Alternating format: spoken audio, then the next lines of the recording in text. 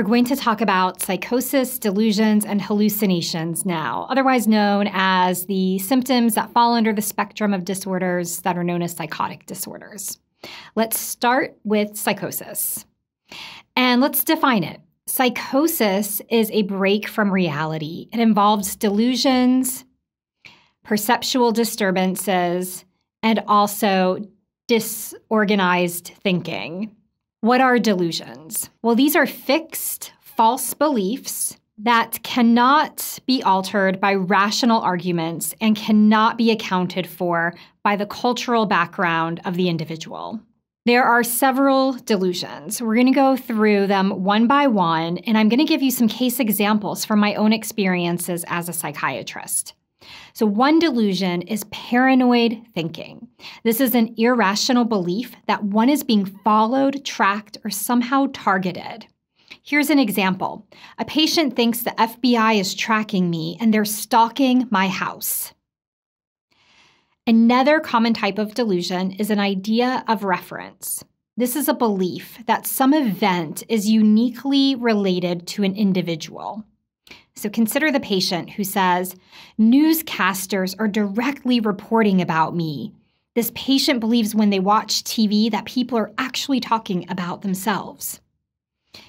Another delusion is thought broadcasting. This is the belief that one's thoughts can be heard audi- audibly by other people.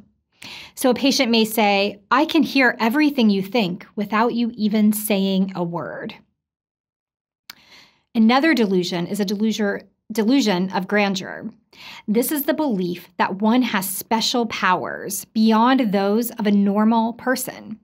So consider the person who says, I am the smartest person alive. I should be president and king of the world. That would be a delusion of grandeur.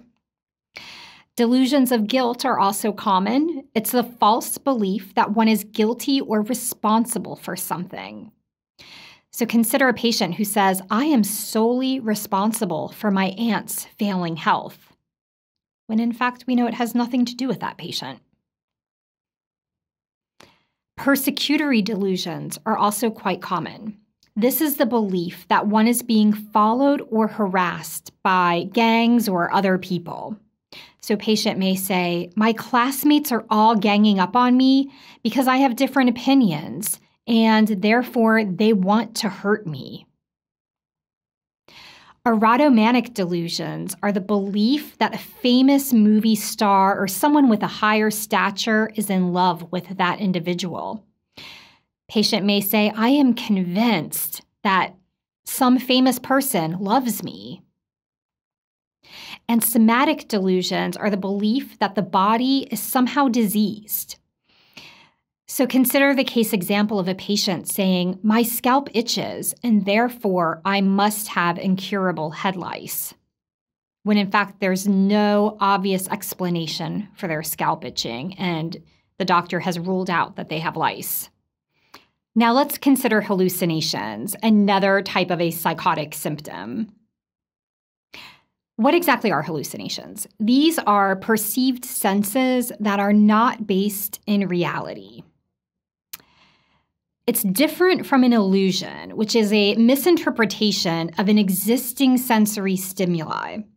So consider this you're driving along in your car on a hot day and you perceive a body of water in front of you. That would be an illusion. It's not really there, but external reality is giving you the impression that it might be there. Hallucinations are different. There are actually a lot of different types of hallucinations. So let's start with auditory hallucinations, in other words, hearing voices. Auditory hallucinations are most commonly seen in patients with schizophrenia. And there are a lot of different types of auditory hallucinations. And it's really important that with your patient, you not only find out if they're hearing voices, but you dig deeper and ask more about them. So there could be a command voice that they're hearing. This is extremely important because that voice might be telling the patient to hurt themselves or others, something that you need to screen for. They may be hearing a running commentary. This is important because running commentary voices are very distressing to individuals. So, this means that a person is hearing something, basically recounting their every move, motion, and thought. It can be very distressing and upsetting in real time for a patient. And then a person may hear one or maybe several voices talking at one time. The person who's hearing several voices at once, again, is going to be more likely to be disturbed and distressed, and they may have a more severe form of a psychotic disorder. Visual hallucinations, otherwise known as seeing things, can also occur.